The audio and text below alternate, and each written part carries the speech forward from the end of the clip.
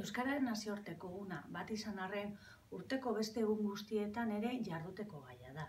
Euskarak egunero nonai eta gu guztio behar gaituelako.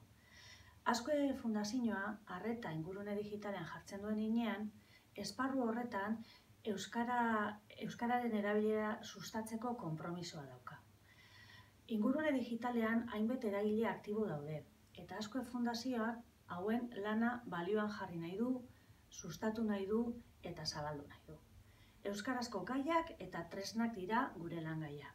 Etengabe sortzen diren baliabide digitalak ezagutzeko alegina egiten dugu, proiektu berrien sorkuntzan eragitzen saiatzen gara, eta Euskal Gizarteari errabilgarri dauden programak, webuneak, aplikazioak eta bar guzti hori erakusten dizkiogu informazio eguneratu eskainiz.